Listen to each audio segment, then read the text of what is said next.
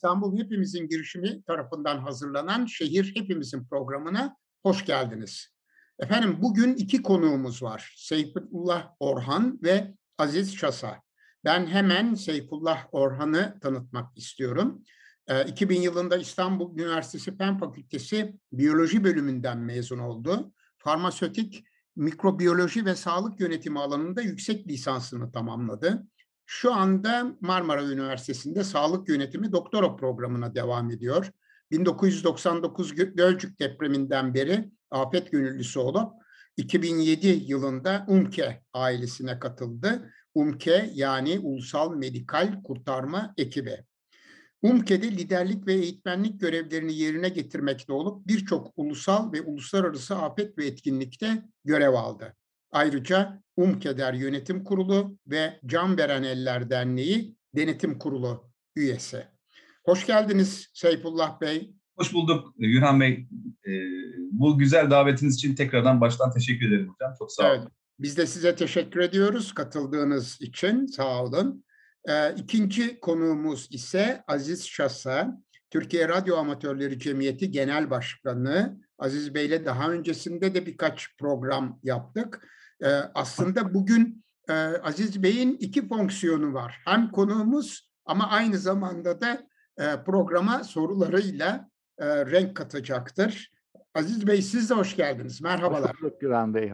Merhabalar. Evet efendim, bugün e, özellikle sağlık alanında önemli iki kuruluşu ele alacağız. Birisi biraz önce de söylediğim gibi Ulusal Medikal Kurtarma Ekibi, kısaltılmış e, haliyle UMKE. Diğeri de Ulusal e, Medikal e, pardon Uluslararası Medikal Kurtarma Ekipleri Derneği. Onun da kısaltılmışı UMKEDER. Evet, e, hemen ben ilk soruyla başlamak istiyorum Seyfullah Bey. E, UMKE hakkında bize biraz bilgi verebilir misiniz lütfen? Hangi amaçla kuruldu, ne zaman kuruldu, e, ne gibi fonksiyonları e, üstleniyor. E, bunlardan biraz bahsedelim lütfen. Tabii ki hocam, severek. E, dediğiniz gibi işte UMKE'nin açılımı e, Ulusla, Ulusal Medikal Kurtarma Ekibi. Amacı e, biliyorsunuz işte e, biz malumunuz 1999 Marmara depreminde e, büyük kayıplar, zorluklar yaşadık. Ve bundan sonra bütün işte devlet e, erkleri bu konuda bazı refleksler geliştirmeye başladılar. E, ve bunlardan bir kısmı da işte bu anlamda hem İçişleri Bakanlığı olsun hem e, Sağlık Bakanlığı'nın bu anlamda bu konuyu biraz masaya yatırarak e, 2004 yılında, 2003'ün sonunda daha doğrusu e, bir e, hem içinde gönüllülüğün barındığı aynı zamanda da görevliliğin de olduğu bir medikal kurtarma ekibi kurmak oldu. İçinde amatör ruhu devam eden, öyle söyleyelim. Bu nasıl bir gerekçeyle oluştu? Oradan belki bir iki veri vermek çok doğru olur. E, Marmara depreminde biz sağlık açısından şöyle sıkıntılar da yaşadık. Çok e, değerli insanlarımızı, vatandaşlarımızı kaybettik ama bir yandan da yaklaşık olarak işte e, oradaki veriler çok sağlıklı olmamakla birlikte bilimsel yapılan çalışmalarda şöyle bir veri ortaya çıktı. Hafif yaralı kurturulan, e, işte hızlıca hastaneye sevk edildiği zaman müdahalelerle hayatına sağlıklı bir şekilde devam edebilecek insanımızın yaklaşık yüzde 20 ile 24 arasında can kaybına e, neden olduğunu e, veriler bize söyledi. Arkasından yine bu hastaneye yatırılan yaklaşık 5300 e, gibi bir e, afetzedenin e, 639'unda böbrek yetmezliği oluştu ve bunların ne yazık ki 477'sinin sonrasında diyalize bağımlı olduğunu gördük. Burada belki kısa bir, kısa bir küçük bir teknik bir bilgi vermek lazım. Tabii ki sadece bundan dolayı kurulmadı UNKI ama işte bizim crash sendromu dediğimiz bir rahatsızlık vardır, bir patolojik durum. İşte bu tarz, işte bu trafik kazasında da olabilir, depremde de olabilir. Büyük oranda bir doku ya da organ ezilmesi sonrasında bazı kimyasallar vücudumuza salınır. O kasların ezildiği noktalardan. Ve bunlar da bizim böbreklerimizin e, hemen müdahale edilmezse ve de çok basit tedavilerle, doğru tercih edilen basit tedavilerle müdahale edilmezse kişinin ilk başta can kaybına olmazsa böbrek yetmezliği üzerinden işte dediğimiz gibi diyaliz bağımlılığa kadar neden olabilir. Bu bizim için bir çıkış yolu oldu. Daha doğrusu bakanlıktaki yöneticilerimizin. Bunun için işte afet konusunda bilgili bir ekip oluşturulması gerekti. Bunun için de ayrı bir ekip oluşturmaktansa sağlıkçılardan gönüllü olanlar, daha çok bakanlıkta çalışanlardan bir ekip oluşturalım ruhuyla başladı 2004'ün başında, 2003'ün sonunda.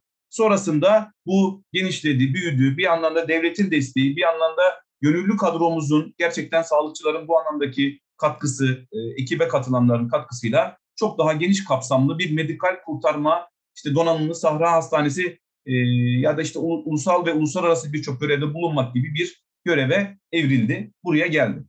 Evet. Türkiye çapında bir teşkilatlanma mıdır bu? E, işte ilk baştaki amacı sadece ulusal medikal kurtarma ekibiyken çok hızlı bir şekilde işte e, ilk mesela İran BAM depremiyle yola çıkıldı. Oradaki ekiplerimiz kendi edindikleri e, deneyimleri birkaç sene sonra İran deprem, BAM depreminde e, davet üzerine gittiklerinde oralarda da aslında bize çok ihtiyaç olduğunu fark edip buraya doğru bir refleks geliştirildi. Buna dair de bir çalışmalar, eğitimler yapılarak arkasından e, uluslararası birçok e, faaliyete, depreme, afete ya da başka konulara katılımlar başladı. E, şu anda da çok hızlı bir şekilde devam ediyor. Evet, Türkiye'de kaç bölgede, kaç kentte örgütlüdür UMKE? Şöyle söyleyeyim hocam, ilk başta 11 bölge olarak kurulmuştu. İşte örneğini İstanbul üzerinden verirsek, İstanbul aslında Kuzey Marmara bölgesi e, ana aktörüydü ve öyle bir bölge vardı e, 2004 yılında kurulduğunda. Sonrasında bazı bölgeler kendi içinde büyüyünce bunları 21 bölgeye çıkarttık. Hani bölgenin e, illerin küçüklüğüne, büyüklüğüne göre. Şu anda 81 ilin hepsinde UMKE ekipleri var. Hatta bazı büyük ilçelerde ikinci bir istasyon ya da nokta oluşturuldu. E, ama şu anda bunların kendi işte tatbikat, organizasyon, görev dağılımını yapmak için, yönetmek için 21 bölge üzerinden var. Ama 81 ilin hepsinde UMKE var.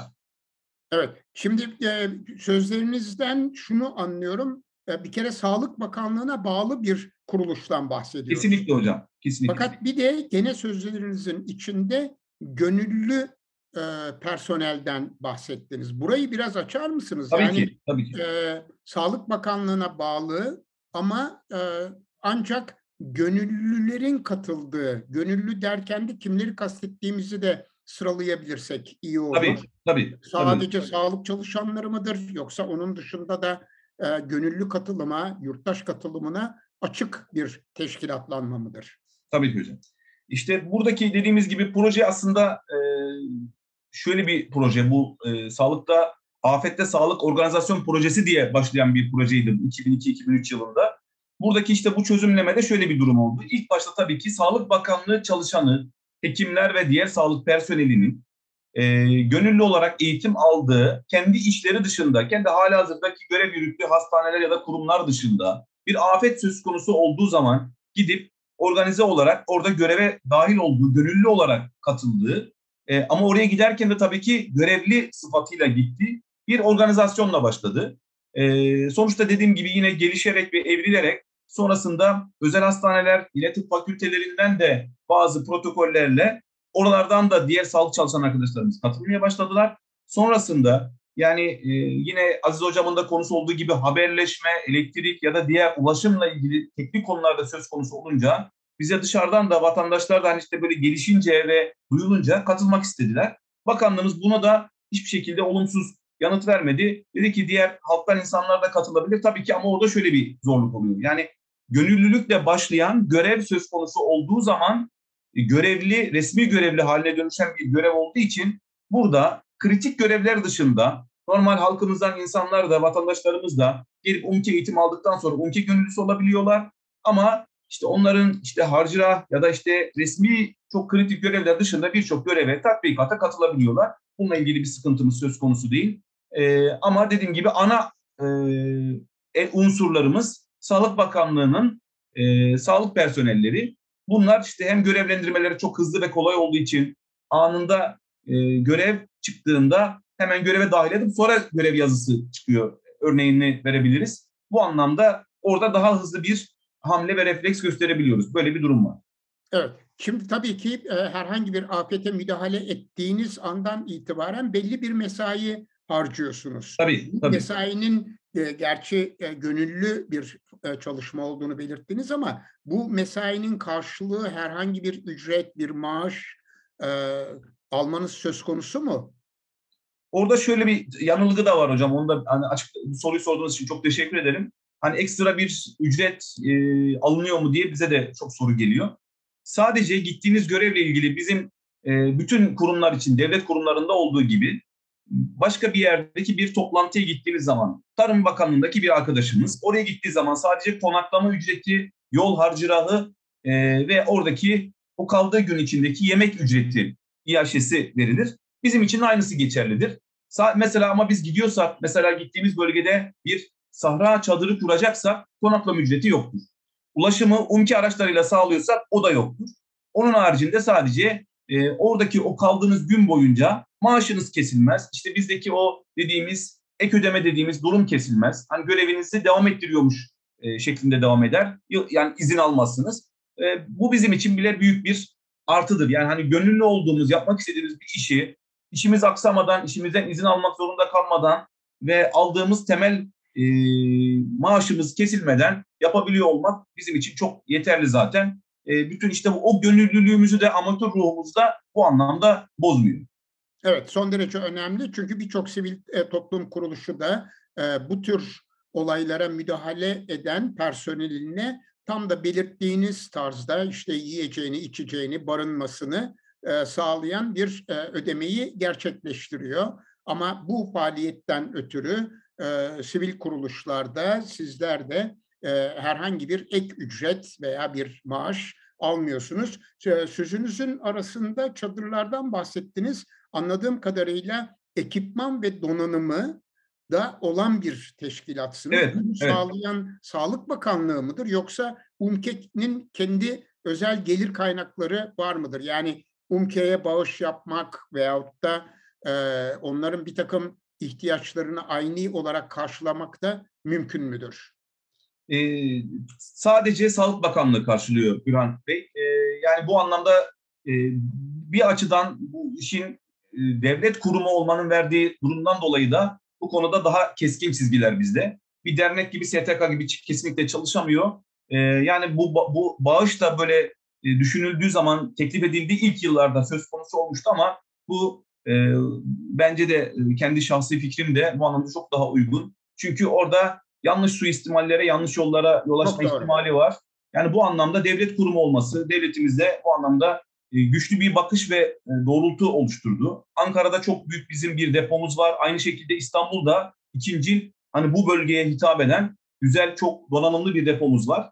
Yani gene arada bahsedeceğim ama sadece hani tek cümle olarak şöyle söyleyeyim. Yani biz bir yurt dışı görevinde gittiğimiz zaman 20 gün kalabilecek hem personelimizin hem oradaki yaklaşık 500'de 1000 arası e, hastanın ihtiyacını karşılayabilecek, onların hem de yataklı hastane olarak ve bazı 10, 14 tane, 15 tane ameliyat yapabilecek kadar donanıma sahip e, işte soğuk iklim çadırlarımız, işte 4x4 işte arazi koşullarını sağlayabilecek araçlarımız var. Tabii ki bu konuda şöyle bir şey oluyor. Yani bu anlamda bizim şöyle bir gayretimiz söz konusu oluyor. Biz sadece buna dair Avrupa Birliği fonlarında devlet kurumlarına da verdiği o projeler karşılığındaki işte belli projeler hazırlayarak buradan bu gerektikleri devletimizin de bu anlamda belki bir miktar yükünü azaltmak, hani daha efektif yerleri kullanmasını sağlayacak şekilde çalışmalar, projeler, akademik çalışmalar yapmaya çalışıyoruz. Ee, böyle evet. biz de kendimize katkı sunmaya çalışıyoruz. Çok teşekkürler. Şimdi Aziz Bey'in hemen bir sorusu var. Evet e, Seyfullah Bey, e, bizim e, şeyle UMKE ile daha Sağlık Bakanlığı'nın epey zamandan beri aslında 99 depreminden beri e, bir ilişkimiz var. Bayağı da güzel çalışmalar yaptık.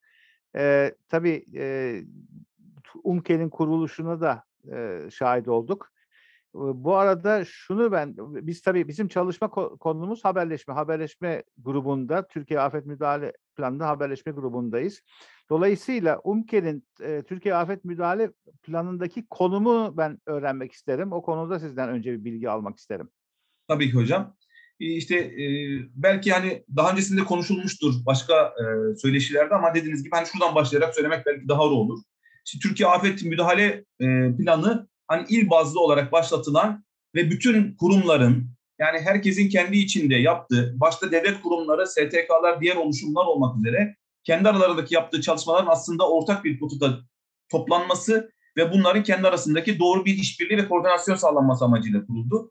Ve burada da Sağlık Bakanlığı'nın e, oradaki hani ana hizmet grupları ve destek hizmet grupları var ve biz oradaki sağlık ana hizmet grubunun temsilcisiyiz UMKE olarak. Yani şunu belki baştan söylemem lazımdı. Burada belirtmekte fayda var. Sağlık Bakanlığı'nda şu anda Acil Sağlık Hizmetleri Genel Müdürlüğü var. Bunun altında Afetlerde Sağlık Hizmetleri Daire Başkanlığı, altında UMKE var.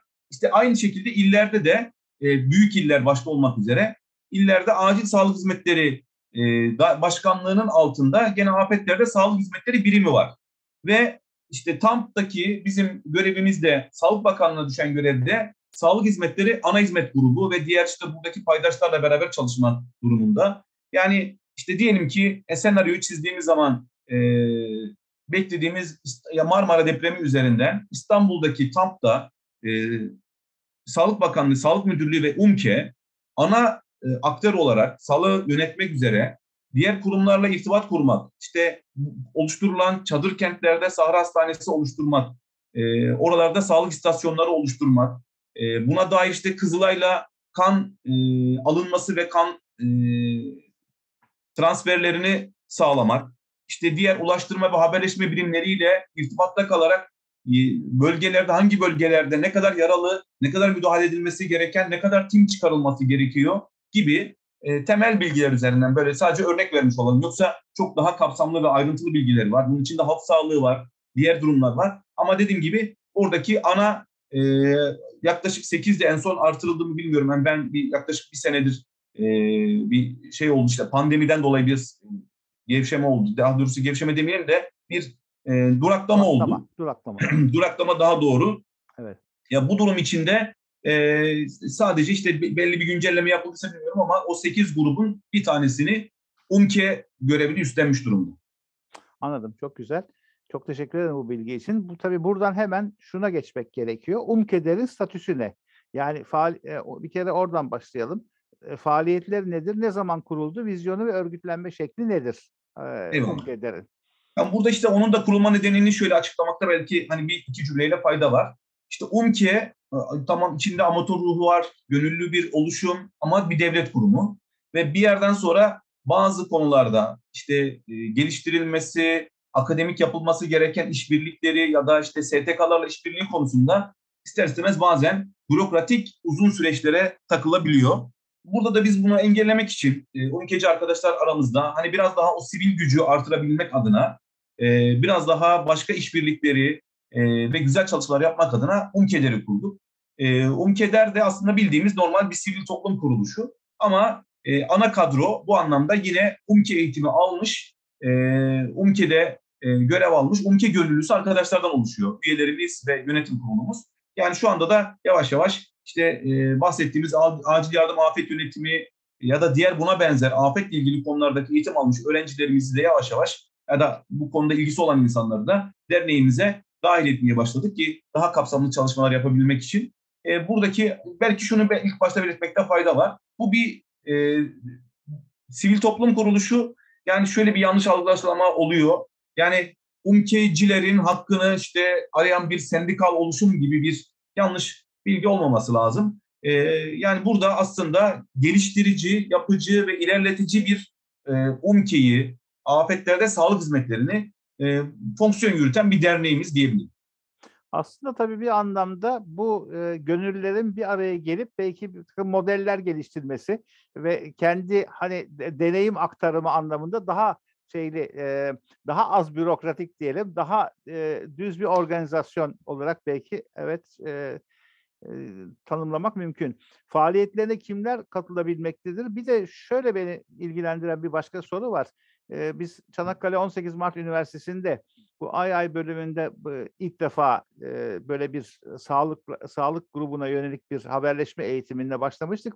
Hangi şu anda nereden hangi nerelerden mezun arkadaşlar e, katılıyor? Gerek UMKE'ye gerek UMKE'lerin çalışmalarına. Bir de işte kimler genelde kimler faaliyetlere katılıyor? Evet hocam. İsterseniz önce UMKE'den başlayayım. UMKE'de şöyle bir koşul yok. Yani e, hani herkes, her vatandaşımız yani bir yer bir e, bölümün mezun olmak ya da bir meslek erbabı olmak gerekmiyor. E, yani şu bilgi ver, vermekte fayda var.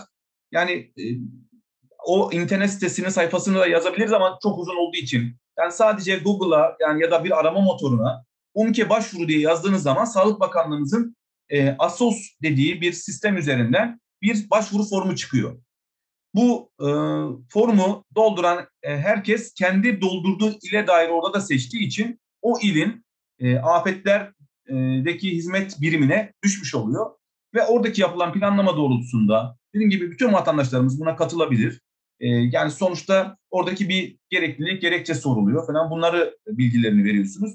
Ve bunun üzerinden UMKE'ye başvuruda bulunmuş oluyor. UMKE'de e, afet söz konusu olduğu için ve UMKE'nin bir miktarda böyle kritik görevlerde e, görev alması gerektiği için de bir mülakat yapıyoruz biz. Yani bu anlamda hem verimli bir insan kaynağı oluşturmak hem de e, baş, başka türlü işte sıkıntılar yaşamamak için bunun e, temelinde şöyle bir durum e, yatıyor aslında. Hani birkaç gerekçesi var ama yani en basit bir kaç sene önce yaşadığımız işte afet e, yaşamış bir AFS'de zamanında olmuş bir sağlık çalışan arkadaşımız gelip de bizim yaptığımız tatbikatlarda girdiği zaman mesela bu durumda e, zorlandığı ya da bu anlamda bundan dolayı sıkıntı yaşadığı oluyor ki biz bunun gibi işte hem ekip uyumunu sağlayacak şekilde bir mülakatla arkadaşlarımızın uygun olup olmadığını görmemiz gerekiyor. Sonrasında bir eğitim alıyorlar. Eğitimden daha sonra bahsederiz. UMKEDER'de de dediğim gibi biz biraz daha e, e, elektif bir sonuç alabilmek için e, ilk başta UMKE katılım belgesi olanlar vardı. Ama şu anda dediğimiz gibi işte AFAD'ın o gönüllü arama kurtarma eğitimlerini alanlar, aynı zamanda AYAY bölümü gibi bölümlerden mezun olanlar, bu tabii ki itfaiye ya da buna dair benzeri o güvenlikle ilgili diğer bölümler de söz konusu. Bunlarda mezun olan arkadaşlarımızı da derneğimize o, o belgeyi sundukları zaman dahil edebiliyoruz. Buradaki çalışmalarımıza katılabiliyor. Yani UMKE'nin UMKE çalışmalarına katılmak isteyenlerin arasından da UMKEDER'e katılım oluyor. Öyle de diyebiliriz. Tabii tabii. tabii, tabii. Anladım. Ee, bu bu yani ha, bu arada bu, hangi yüksek okullardan özellikle bu belki daha çok UMKE'ye yönelik ama hangi yüksek okullardan e, şu anda sayısı arttı. Çanakkale vardı. Daha sonra herhalde başka yüksek okullarda eklendi değil mi? Buradan da Tabii tabii hocam. Yani şöyle söyleyeyim. Yani şöyle iki tane ayrı bir bölümümüz var bizim. Hani acil yardım afet yönetimi bölümü var. Hı hı. E, acil durum afet yönetimi diye iki tane bölüm var. Hani bu biraz birisi biraz daha sağlık bazlı, sağlık e, yani yoğunluklu diyelim bir bölüm. E, yani orada yani şöyle bir algı oluşuyor. Onu da arada belirtmekte fayda var. Bu e, arkadaşlarımız çok değerli e, kardeşlerimiz beraber çalışıyoruz. Yine beraber birçok eğitim e, faaliyet yürütüyoruz bu arkadaşlarımızla hem dernek çatısı altında. Ama hani şöyle bir algı oluşuyor. Yani UMKE hani bunların mesleki olarak görev alacağı bir tanımı varmış gibi düşünüyorlar ya da AFAD'ın. Şu anda öyle bir resmi bir tanım yok. Resmi bir e, onu bile belirtmekte fayda var. Ama hani biz olması için gerekli işte dediğim gibi hem STK olarak ya da e, bireysel olarak bununla ilgili e, taleplerde bulunuyoruz. Onu da belirtmekte fayda var. E, çünkü hani bunun teorik eğitimini de almış e, kişilerin çok daha iyi olacağını düşünüyoruz. Çünkü UMKE'lerin illerdeki UMKE'lerin merkezinde ilim büyüklüğüne göre yaklaşık 3 kişiden yaklaşık 15 kişiye kadar orada hala hazırda devam eden bir personel var. Çünkü oradaki bütün organizasyonu, koordinasyonu ve oradaki eğitimleri yapmak için e, yani bu noktada e, dediğim gibi oradaki arkadaşlar da hani girerken bölüme buralarda meslek sahibi olacağız, işte kamuya atanacağız gibi bir bilgi oluyor. Şu anda yani ha. Böyle bir durum yok. Onu belirtmekte fayda var. Tamam. Ama şunu biliyorum. İstanbul'da yaklaşık olarak ben en son takip ettiğim işte onlar da bizi bazen eğitimlere davet ediyorlar. 8 tane özel e, üniversitemizde var. E, en son işte Burdur'da açıldı onu biliyorum. İşte Balıkesir Üniversitesi'nde var. E, Gümüşhane'de var. Yani bu bu anlamda e, Yalova'da açıldı. Onu biliyorum. E, ve bu anlamda yani önemli bir şekilde küçük illerimizdeki üniversitelerde bile acil yardım afet yönetimi bölümü açıldı.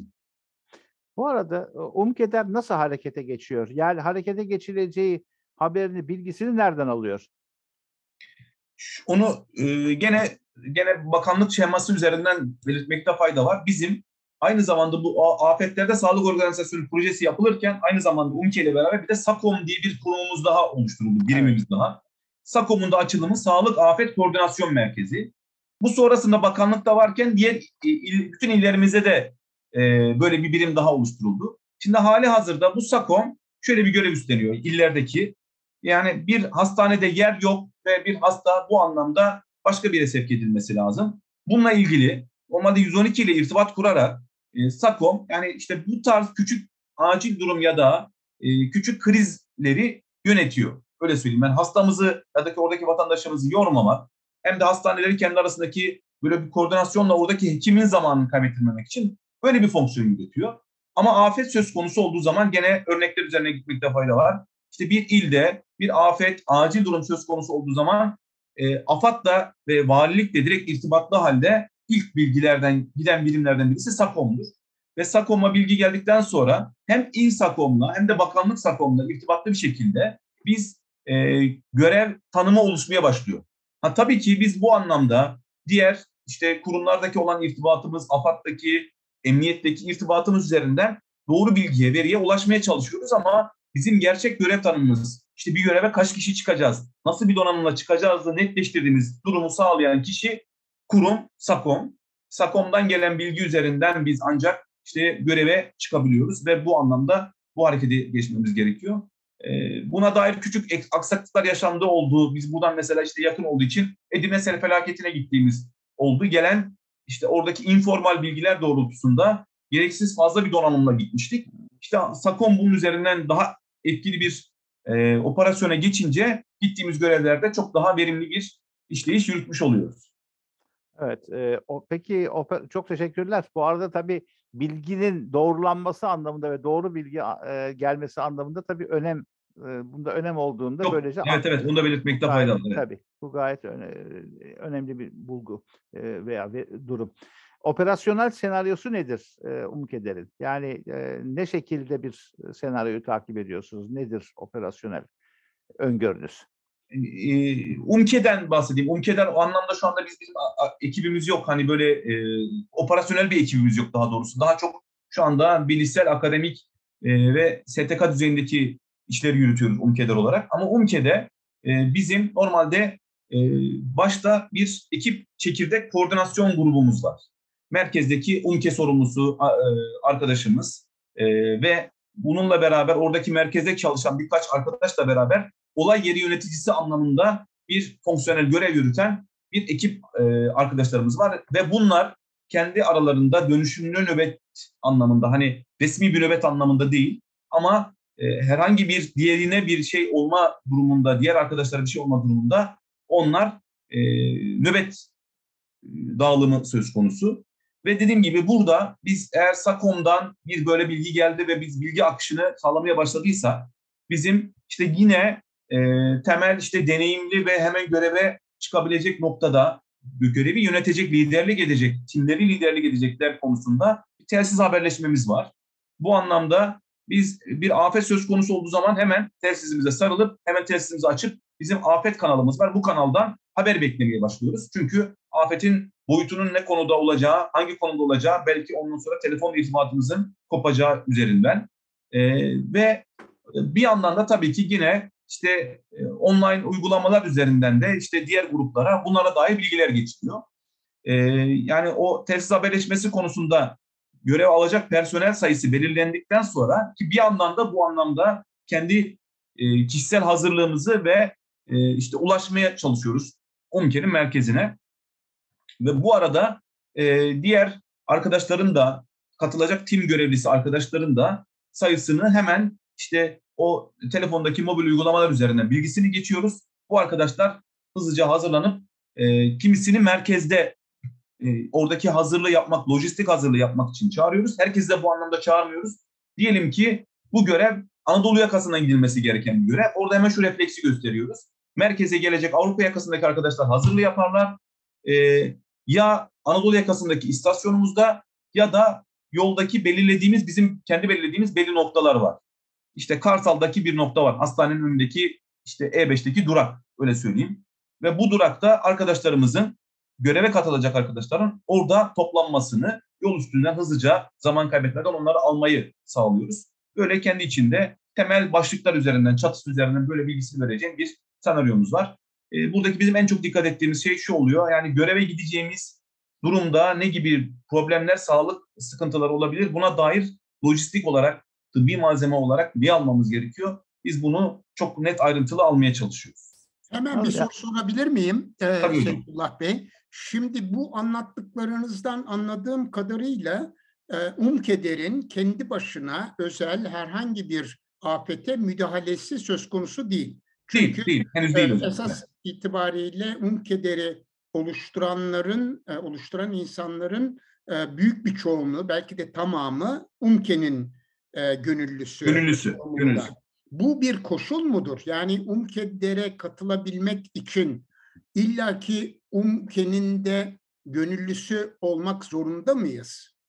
İlk başta öyleydi. Ee, yaklaşık iki sene önce aldığımız yönetim kurulu kararı gereğince dediğim gibi işte aynı zamanda hani gene şu sınırı şöyle e, zorlamamak istiyoruz hocam. Hani böyle çok geniş anlamda biraz daha akademik, bilişsel ve e, koordinasyon ve organizasyon üzerine yapılan çalışmalar olacağı için afetle ilgili en azından bir deneyimi, bu anlamda bir e, sertifikasyonu olmuş kişileri dahil ediyoruz biz. İşte AFAD'ın düzenlediği e, online'ın üzerinden tanımlanmış, üzerinden hani tatbiki görevler de almış, e, arama kurtarma eğitimlerini almış kişileri de aynı zamanda dediğim gibi ayay bölümü mezunu arkadaşlarımızı da derneğimize katıyoruz. Ama buradaki bizim derneğin çalışmalarına katılmak için üye olmak şart değil. Bunu belirtmekte fayda var.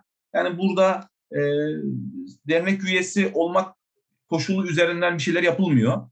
E, dernek üyesi olmak oradaki ana e, yürütücü fonksiyonunu yürütmek ama işte güzel etkinlikler, projeler çalışmak. En basitinden şöyle bir örnek vereyim. Bizim afette kullandığımız sağlıkçılara özgü malzemelerin daha nasıl iyi geliştirilebilirle ilgili bir bizim kendi bir mesela çalışma grubumuz var. İşte e, yapılan yurt dışı çalışmaları üzerinden bunu UMKİ'de nasıl uygulayabiliriz ile ilgili bir akademik komisyonumuz var. İşte sürekli hem halkı hem işte bu anlamdaki afetle ilgili deneyimlerini artırmak için bir eğitim komisyonumuz var. Hani daha dediğim gibi bu anlamda böyle bir e, teorik üzerinden başlayan, pratiğe dönüye gitmek isteyen bir çalışmamız var. E, o anlamda belki e, o havuzu yani üye havuzunu çok hızlı bir artırım yapalım gibi bir derdimiz yok öyle söyleyeyim. Yani bunu belirtmekte fayda var. Anlıyorum. Bu arada hemen hem UMKE'nin hem de UMKEDER'in e, internet sitelerini vermek istiyorum. UMKE'ninki umke.org, UMKEDER'inki ise umkeder.org. Yani buradan da e, şu anda bizi izleyenler e, rahatlıkla şeye girebilirler e, internet sitelerine girebilirler. Orada da oldukça detaylı bilgiler var. Evet Aziz Bey buyurun. Evet e, çok teşekkürler. Bu e, bunlar önemli bilgilerdi. Kimlere bu arada e, UMKEDER eğitim veriyor mu? E, kimlere ve hangi konularda eğitim verir diye bir sorumuz vardı bizim. Sanıyorum e, öyle değil ama yine de bir alalım sizden o konudaki Tabii. bilgileri. Yani şu ikisinden bahsedeyim isterseniz hocam. Ee, çok özür dilerim Gülhan Bey'in dediği bir şey değinmek istiyorum. Umke Org da bizim gene Umke gönüllüsü arkadaşlarımızın oluşturduğu resmi olmayan bir site. Çok evet. güzel bir çalışmaları var. Bir, bir miktar haber sitesi gibi de çalışıyor falan. Bu anlamda biraz kendilerini çok geliştirdiler. Çok teşekkür ediyoruz. E, takdir ediyoruz abilerimizi, arkadaşlarımızı. Ama bizim resmi UMKE'nin resmi sitesi Sağlık Bakanlığı'nın çatısı altında belirtilen e, orada e, yani direkt yazınca çıkan bir bilim değil. İşte Sağlık Bakanlığı Acil Sağlık Hizmetleri Genel Müdürlüğü sitesine girdiğiniz zaman UMKE ile ilgili temel bilgileri, yaptığı yurt içi yurt dışı faaliyetleri, görevleri görebileceğiniz bir resmi sitesi var. Ama UMKE, UMKE Orgun yaptığı e, e, oradaki bilgilendirme UMKE'yi bağlamaz. Onu belki belirtmekte fayda var. Evet, o da gene bir sivil, evet, sivil, sivil bir oluşum. E, güzel, çok güzel işte eğitimlerle ilgili dokümanlar falan da e, koymuşlar arkadaşlarım. Çok güzel refleks işte bütün görevleri falan belirtiyorlar. Ama dediğim gibi sivil bir oluşum. E, hocam önce UMKE'deki eğitimlerden bahsedeyim isterseniz Aziz Bey. Ondan sonra UMKE'lerin yaptığı eğitimlerden de faaliyetlerden de bahsetmekte fayda var. Bizim Lütfen. şimdi ilk başta şuradan devam ettirerek söylersek güzel olacak. O mülakata girdi arkadaşlarımız ve bu arkadaşımızın herhangi bir sıkıntısı olmadığı, yani hani kendisi ve bizimle beraber çalışma konusunda bir problem olmadığı fark edildikten sonra bu arkadaşlarımıza planlama dahilinde şu anda her ay bazen de sıkıştırıp ayda iki kere yani orada eğer bir görev söz konusu değilse temel UMKE eğitimi veriyoruz biz. Temel UMKE eğitimi arada bir gün değişmekle birlikte yaklaşık ortalama 5 gün. Bu 5 günün 3,5 günü teorik eğitimler. Bu eğitimlerin içinde yine işte olay yeri yönetiminden triyajına, işte medikal müdahale için ileri hava yolu, işte CPR, işte orada travma e, eğitimleri, afet psikolojisi eğitimleri, afetlerde halk sağlığı eğitimleri e, gibi haberleşme, ulaştırma gibi birçok konularda teorik eğitimler veriliyor. Sonrasında biz yine bir buçuk günlük bir tatbikat hazırlıyoruz. Oradaki verdiğimiz eğitimlerin tatbikini yaptığımız, hem arkadaşların zorlu koşullarda nasıl kalabildiklerini, kendi çadırlarını kurabildikleri, işte organize olabildikleri şekilde bir buçuk günlük bir eğitim oluyor. Sonra buraya katılan arkadaşlardan devam ettirmek isteyenler sonrasında ileri umki eğitimler oluyor. Yani işte bu yine işte triyajla ilgili daha ayrıntılı, daha kapsamlı iki gün bir eğitim. İşte fiziksel kondisyon üzerinden, haberleşme konusu üzerinden işte e, eğitimler alıyorlar. Bir de bir yerden sonra yavaş yavaş bazı konularda biraz uzmanlaşmaya gitmeye çalışıyoruz. Bunlardan birisi mesela bir miktar dağcılık. Yani dağcılık demeyelim buna da hani dağcılık bazlı bir eğitim şeklimiz de var. İşte yine bizim sağ olsun işte ülke sorumlusu arkadaşımızın da e, destekleriyle e, Dağcılık Federasyonu ile irtibatımız üzerinden e, ekibimizden bunu isteyen arkadaşlara dağcılık eğitimlerini alıyorlar ve hem bu zorlu koşullarda nasıl müdahale edilir? İşte bir yüksekten hasta indirme ya da alçaktan hasta çıkarmayla ya da oralarda o zorlu koşullarda hastaya nasıl müdahale edilir görmüş oluyorlar. İşte bunun yanında daha başka konularda da işte su altı timi oluşturduk zamanında. E, bu anlamda işte nasıl bir müdahale edilebilir üzerinden.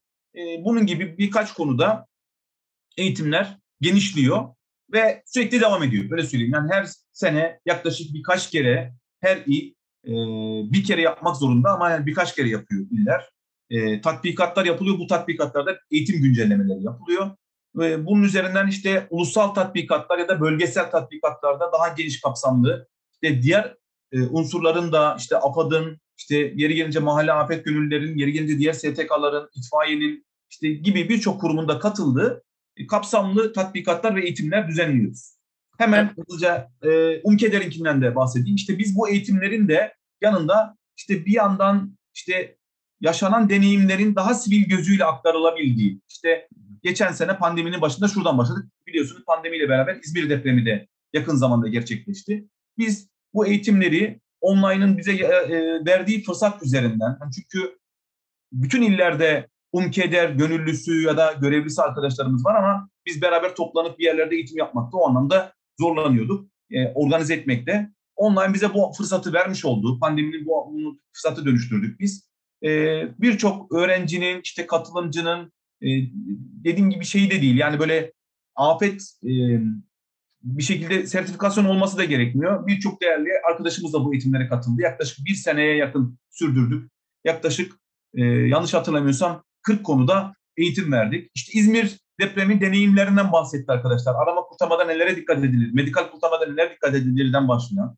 İşte sonrasında en son yaptığımızda da yine Antalya'daki UMKE sorumlusu arkadaşımız, UMKE, e, UMKE'de üyesi arkadaşımız e, bize yangınlarda nasıl müdahale edildi, bunları geliştirmek için neler yapmamıza dair bir eğitim verdi. Arasında afet bilinci eğitimleri, haberleşme eğitimleri, yani konumuzun çerçevesi içindeki olan bütün kurumlardan destek alarak kendi uzmanlıklarımız ve onların uzmanlıkları üzerinden geniş bir eğitim e, silsilesi yürütmeye çalışıyoruz.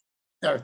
Şimdi ben e, hemen e, şunu sormak istiyorum. Siz konuşmanız sırasında e, yurt içi ve yurt dışı operasyonlardan bahsettiniz. Evet, evet. E, ve kuruluşunun sadece ulusal olduğunu UMKE'nin fakat sonrasındaki ihtiyaçlar e, doğrultusunda örnek olarak da BAM depremini, İran BAM depremini evet. verdiniz. Bu aynı zamanda tabii ki uluslararası kuruluşlarla da ilişkileri gerektiriyor ve Kesinlikle. bu konuda bize biraz bilgi verebilir misiniz? Tabii ki. UMKEDER'in de enteresan ismi Uluslararası Medikal Kurtarma evet, evet. Derneği. Yani orada hem ekipleri hem de uluslararası UMKE'den ayrılıyor. Evet evet öyle bu, bu, bu çok önemli bizim için çok önemli dernek olarak hocam. Hani evet. Yani derneğimiz aslında evet derneğimiz daha biraz daha genç, taze. Yani bu anlamda biz hedeflerimizi bu anlamda biraz daha ufkumuzu açık tutmaya çalıştık. Yani e, yani UMKE'den de sonradan oluşan ihtiyaçtan dolayı nasıl ulusal adında kalsa da uluslararası bir oluşuma evrildiyse biz dedik ki derneğimizin adını baştan e, oluştururken bu şekilde e, başlayalım. E, ileride e, yani yavaş yavaş zaten Dünya Sağlık Örgütü ile yani bir e, irtibatlarımız e, söz konusu işte birçok sempozyumda falan beraber çalışıyoruz. Ama ilerisinde e, çok daha e, ayakları yere basan, çok daha uzun vadede sürdürülebilirliği söz konusu olan uluslararası çalışmalar yapmak istiyoruz. UMKE'der çatısı altında böyle bir temennimiz var.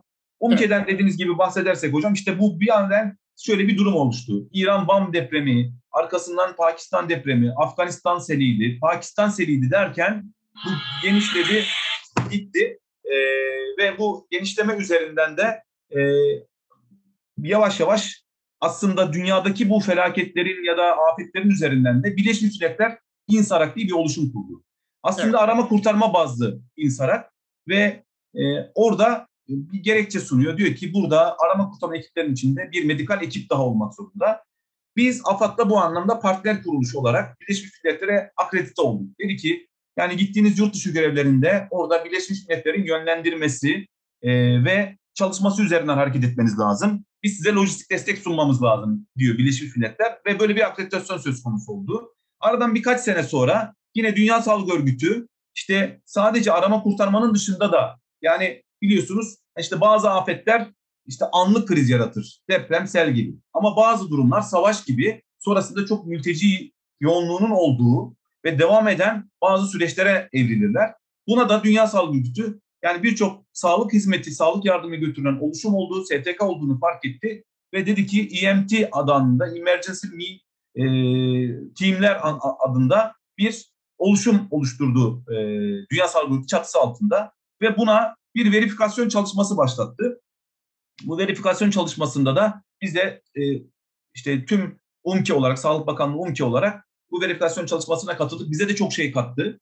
E, ve arkasından burada bir e, verifikasyon çalışmasını tamamladık. Bildiğim kadarıyla şu ana kadar biz olduğumuz zaman da 6 tane, e, pardon 11 tane e, Avrupa üyesi bizim seviyemizde. Onların tip 1, tip 2, tip 3 diye ayrımları var. Sadece bizim katıldığımızdan hani kısaca şöyle bir cümleyle bahsedersem. Yani gittiğiniz zaman 14 gün aralıksız işte e, yaklaşık en az 4 poliklinikte acil hizmeti ve yaklaşık 14 tane büyük operasyon yapacak bir donanıma, kendi su ihtiyacınızı, kendi gıdanızı, işte oradaki hastalarınızın, yatan hastaların ihtiyacını karşılayacak şekilde bir donanıma sahip olmanız ve bunu sağlamanız gerekiyor. Böyle bir e, akreditasyon çalışması ve verifikasyon çalışmasına dahil olundu. Evet, Aziz Bey'in bir sorusu var. Şimdi e, bu arada UMKEDER'in başka STK'larla işbirliği var mıdır? Hangi faaliyet alanlarındaki STK'larla işbirliğiniz var?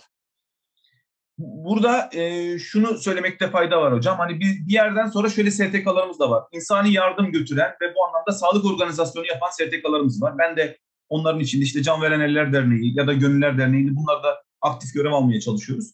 Bir miktar bunlarla bir irtibatımız var. Şu anda resmi protokol yapılmış irtibat anlamında değil.